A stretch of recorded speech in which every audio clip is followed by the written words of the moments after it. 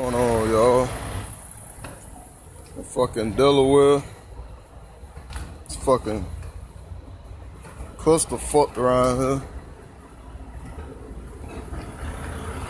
It's like downtown Delaware.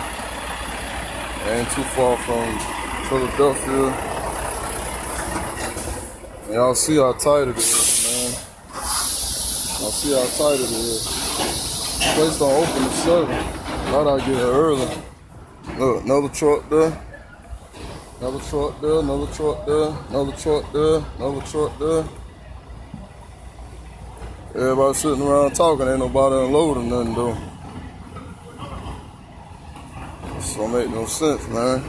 That's why I don't run the East Coast, man. The company seem like they still sending me on the East Coast.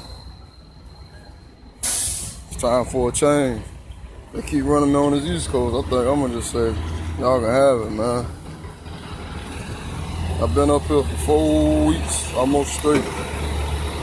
Baltimore. I had to park on the shoulder yesterday. Didn't get no sleep. A lady comes knock on my door, tell me I can't park there. A construction lady, I guess. So the police won't have that. Right when I lay back down, try to go to sleep, police comes, knock on the door. Police told me just put your triangles out. You'll be alright. So she won't bother you. She won't bother me no more. She you out the way, you fine. I said, well, yeah, because it ain't no parking.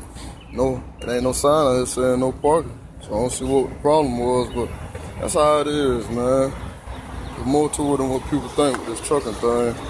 I'm still new to it. It's, it's still a lot of, still a lot of bullshit to it, though, man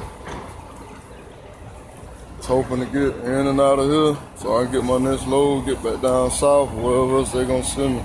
Get this week over with. It is what it is.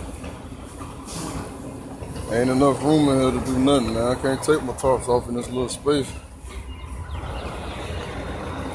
So my little truck still parking. Make no sense, man. Peace, love, and blessing. Every day a new lesson. Show the driver I'm out.